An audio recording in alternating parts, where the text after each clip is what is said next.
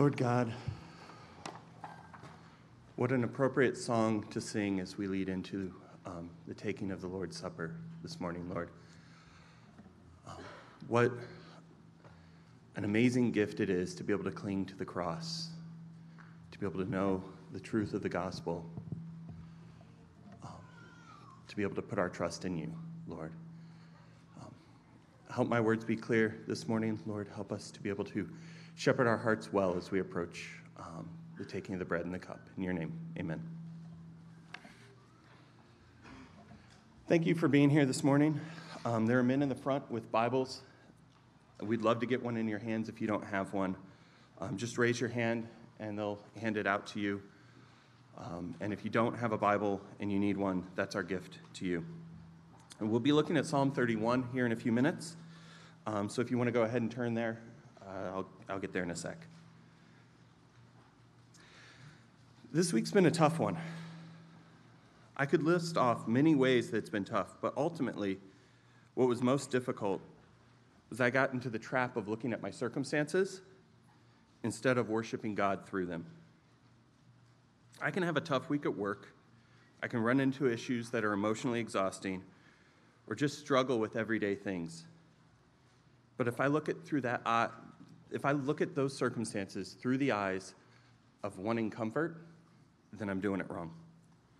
It's just plain unhelpful.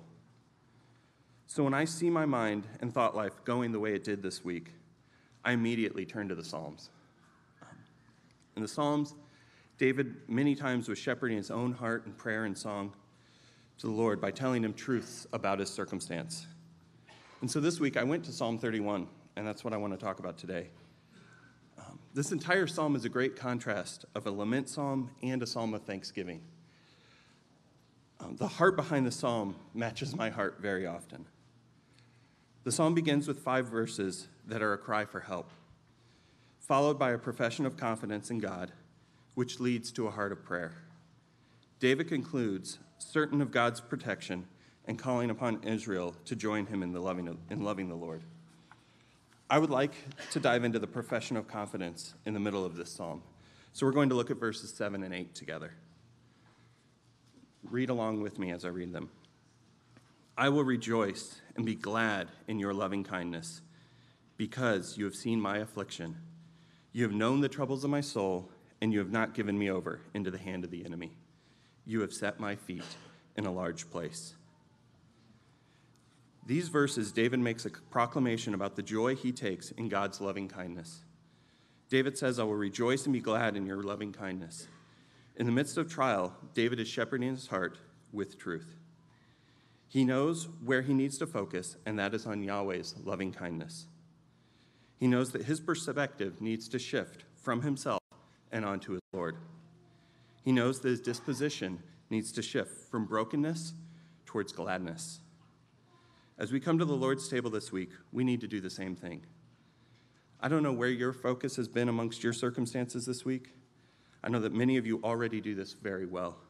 I know that as Jacob us, taught us a few weeks ago, that we need to have a God is near attitude, and I've seen many of us applying that well.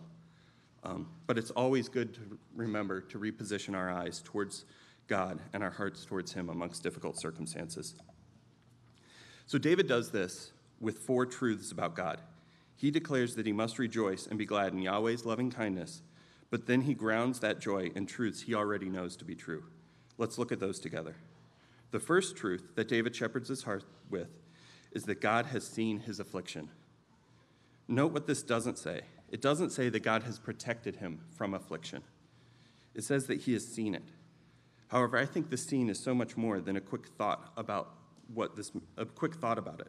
Spurgeon describes this by saying, God has seen it, weighed it, directed it, fixed a bound to it, and in all ways made it a matter of tender consideration.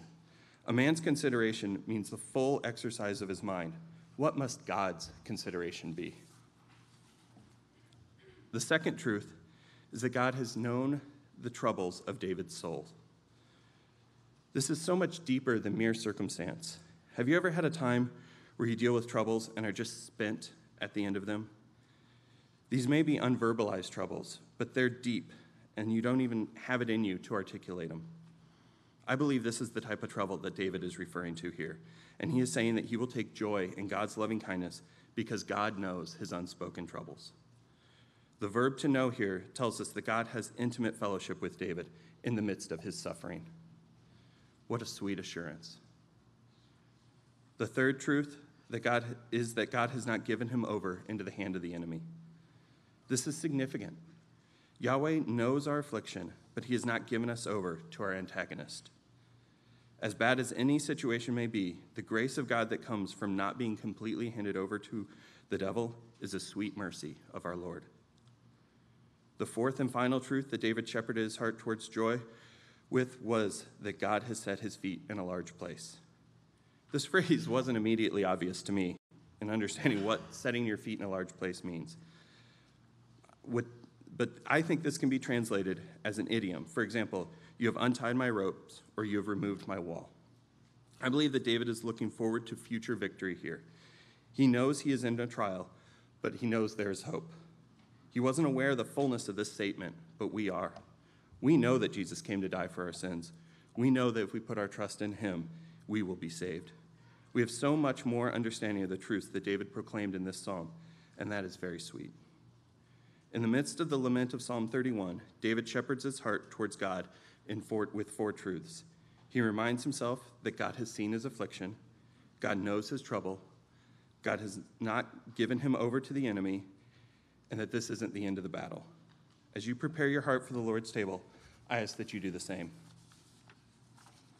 If you are here this morning, but you're one that doesn't put your faith in Jesus to save you from your sins, maybe by your own examination, you fight against the idea of a true God and one that would send his son to die for you, I want to speak to you for a minute. I want you to think about this same section in a very real way. In the midst of a difficult circumstance, where do you find your joy? Jesus came to the earth to save sinners. This act of love and mercy is put on, put on full display when we confess our sins and see his position towards us change through Christ's death on the cross.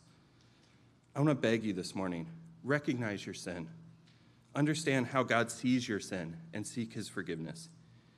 He asks you to believe in him for eternal life. Put your faith in him, and he will forgive those sins. You can do that right now.